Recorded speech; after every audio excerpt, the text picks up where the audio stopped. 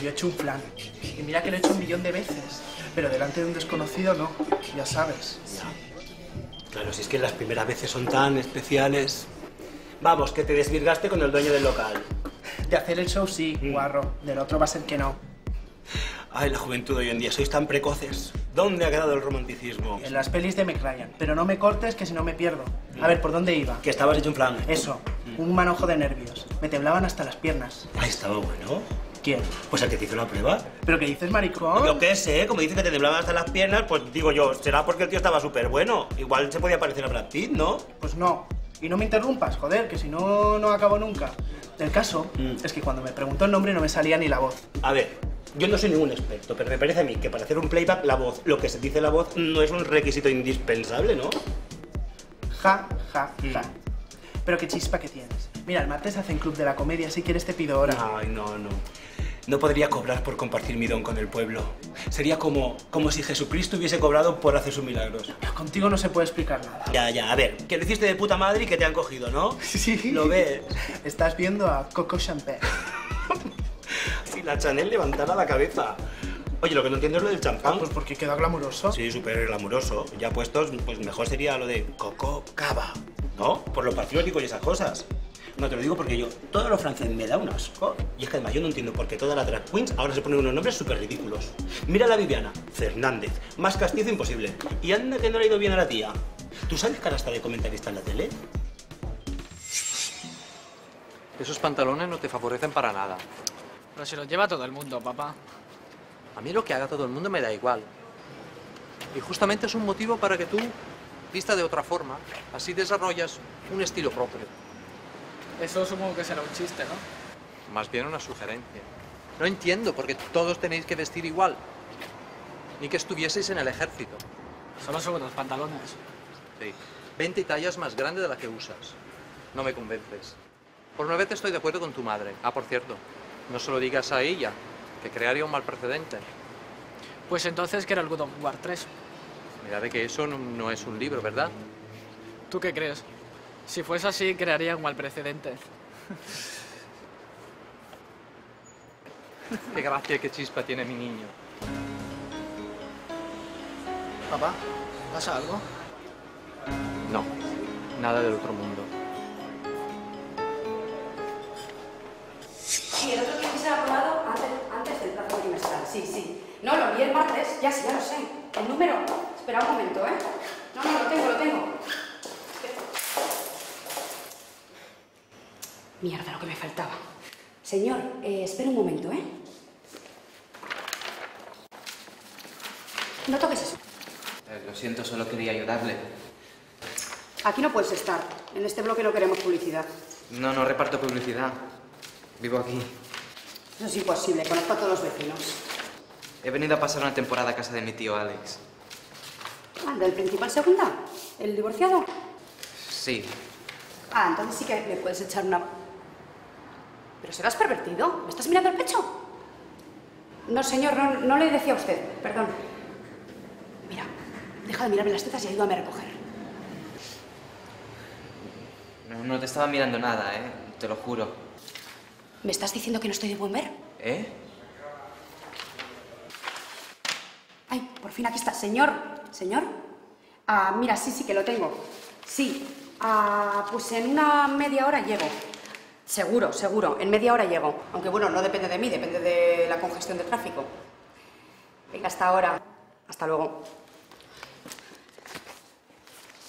Así que vas a pasar una temporada aquí. Sí. Bueno, pues debes saber, si no te ha informado tu tío, de que en esta comunidad somos muy decentes y no nos gustan nada los pervertidos. No, pero es que yo no... Mira, no lo empeores, ¿eh? Que por menos de lo que me has hecho, ¿eh? te podría poner una demanda de acoso sexual. O sea, y la multa sería tan gorda que la estarían pagando los nietos de tus nietos. Pero te estás quedando conmigo. Porque los de ciudad me estás empezando a tocar las narices, ¿eh? Bueno, tranquilo, ¿eh? No te sulfures, ¿vale? Eres de pueblo. Eso explica el look que llevas. Pensaba que eras un neo hippie de estos. ¿Un neo qué? ¿Pero tú de qué vas? Oye, mira, no me trates de tú que no tenemos nada de confianza, ¿eh? Pero si tú me estás tratando de tú. Ya, pero es que siempre ha habido clase, chaval. Y no me tutees, que no nos conocemos de nada. ¿Será borde la tía?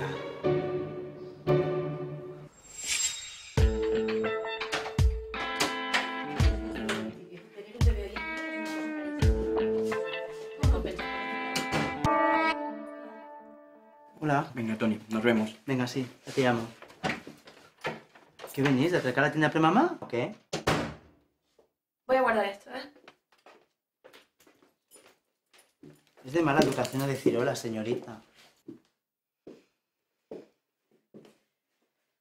Tony, ¿Qué? Ay, gracias. Oye, ¿has visto el otro zapato? no. ¿Sería mucho pedir que no montaras orgías en mi salón? ¿Qué una montón de orgía? Pues si solo éramos él y yo. Verás, para que sea una orgía tienen que ser más de tres personas, porque si no sería un trío o un menazo atrás, como dicen los franceses.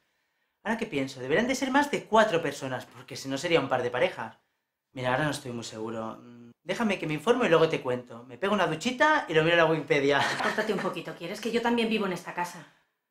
Te has levantado con el pie izquierdo, ¿eh, querida? Pues no, querido. Yo venía de muy buen humor hasta que me he encontrado unos gallumbos tuyos en el sofá. Pero que estaban limpios, que me los he puesto esta mañana. Tony, ¿quieres dejar de pitorrearte que te estoy hablando en serio?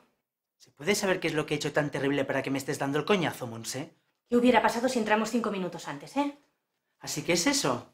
Pues mira, posiblemente me hubieses visto comiéndome una polla de palmo, que ya sé que a ti eso te repugna, pero que si lo dices por nuestra invitada, yo creo que al menos una ha visto. A no ser que la preñas sin los ojos vendados. O, o la preñas el Espíritu Santo, vete tú a saber. Vete a la mierda, Tony. No se puede hablar contigo. ¿Que ¿No se puede hablar conmigo? Es contigo con quien no se puede hablar. Estoy en mi casa. No sabía que tenía que pedir permiso para echar un polvo, joder. Ay, ¿por qué no echas el polvo en tu cuarto? ¿Eh? ¿Qué necesidad tengo de entrar y encontrarte follando en el sofá? Que por cierto es mío. Eres tú la que necesita echar un polvo. Te estás convirtiendo en una frígida amargada. ¡Oh! ¿Una frígida por no querer sentarme encima de tus corridas y vete a saber las de cuántos más?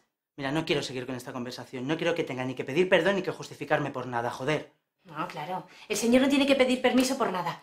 En cambio, yo tengo que ponerme de rodillas, ¿eh? Para poder traer a alguien a casa. No compares, Monse. A quien yo traigo se va a su puta casa después de follar. Y que yo sepa, a ti no te roba nada. ¿Puedes decir tú lo mismo, bonita? Eres un hijo de puta, Tony, un maldito hijo de puta. Eres un encanto y una bellísima persona. No te jode.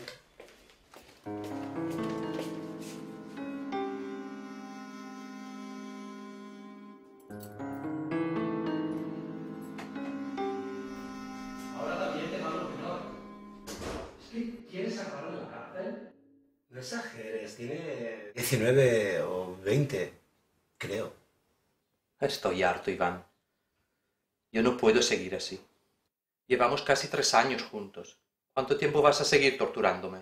Y yo no quiero torturarte. Si solo hemos quedado para vernos, charlar, tomar algo. Para trabajar nunca encuentras el momento. Llevas yo que sé cuánto tiempo en paro. En cambio, para enrollarte con niños imberbes, te sobra el tiempo. ¿Qué tiene que ver el tocino con la velocidad? ¿Sabes que estoy buscando trabajo de Sí. Ya lo veo lo que te matas buscando, pobrecito. Pide un descanso. No vaya a ser que te estreses. Mientras esté el tonto que te mantenga. Eso es muy injusto. ¿Injusto?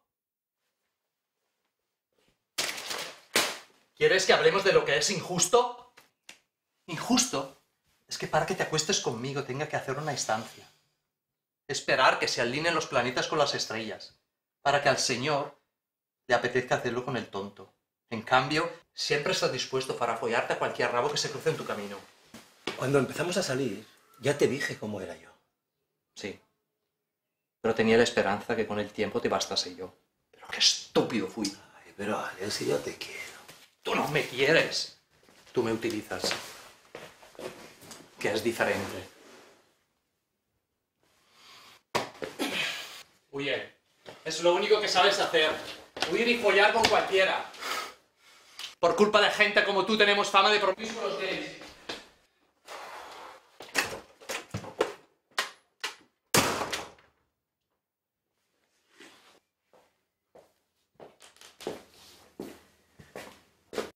Hola. ¿Estás bien? Iván. Tú habéis roto. No. No es la primera vez que tenemos esa pelea. Desaparecerá hasta mañana. O puede que no vuelvan en un par de días. Hasta que haya calculado que me haya calmado. Sé que no debo meterme donde no me llaman, pero si no es la primera vez, ¿Realmente te compensa pasar por todo esto? Supongo que no. Pero por desgracia le amo. Con toda mi alma.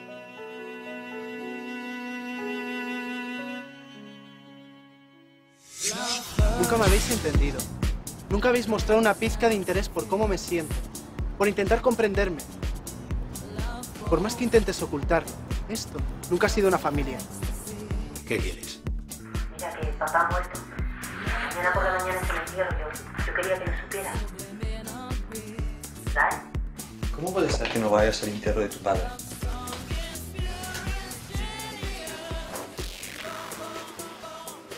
El embarazo te sienta genial. Estás cada día más bonita. Y ahora sí, ahora sí ha llegado el momento, el momento glorioso, fantástico de poder presentar esta gran estrella. Ella es Coco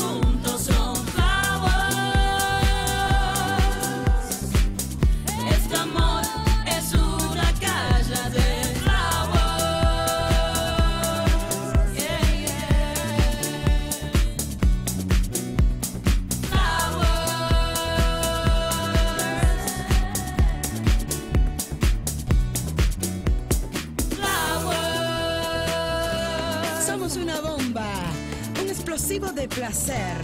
Ven pa' acá y muévete. Que mi cuerpo pide, mi cuerpo pide y necesita bailar. Muévete, niño.